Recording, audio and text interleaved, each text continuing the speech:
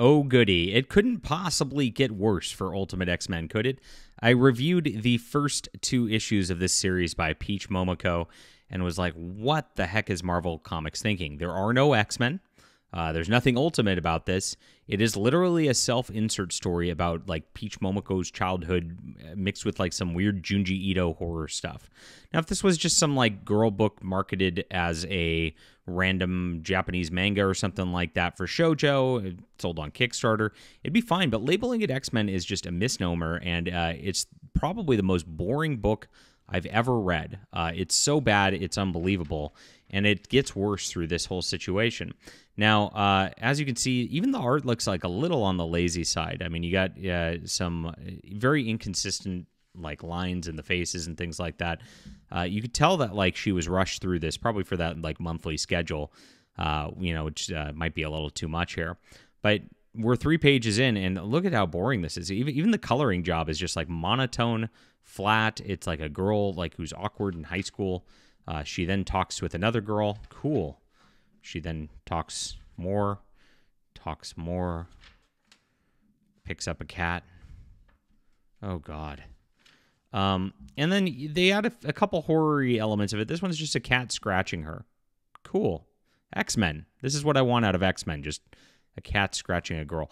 Now, the story behind this, like there, there's a girl. This is a background story about a girl May getting her powers, which is basically the Storm's powers. I don't know why this girl has Storm's powers when Storm is existing already in Black Panther, Ultimate Black Panther, which is in the line also. It just is kind of redundant. Uh, but again, there's like no real X Men anything in this, uh, and you could see that again, nothing really happens. Uh, she's uh, she kind of spurgs out here uh, and then gets her storm power and show and shows her parents in a double splash page. That's the only action in the whole book. You've got one page of this, uh, and then they stop and have a full stop scene uh, about a girl complaining she's getting a period at school, so therefore she can't participate in gym class. What are they thinking? What who what what is he, like are why are you greenlighting this? Like who wants to read about like some teenage girl complaining about getting her period so she can't participate in gym class. Is that is that what X-Men is about? I mean, it's very bizarre. Then for some they try to tie it in at the very end with three issues in, keep in mind it says, "Oh, you're both mutants too." And that's it.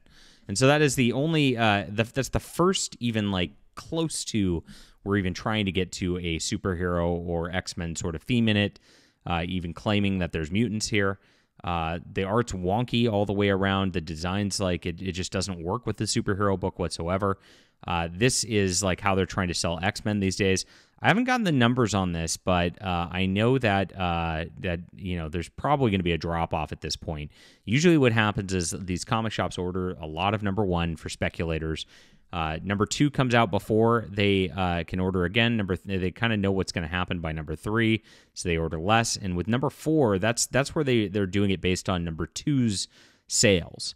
Uh, so uh, we're going to see the drop off coming up very shortly in these next couple issues.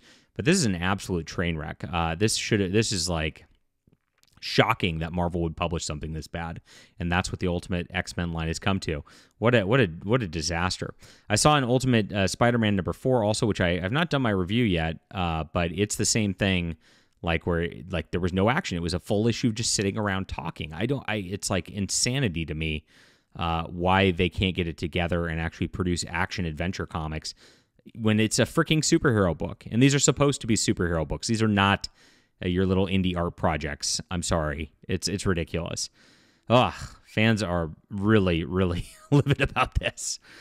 Uh, I call this like a three out of ten. It's terrible. Uh, it needs to be canceled, and that's it.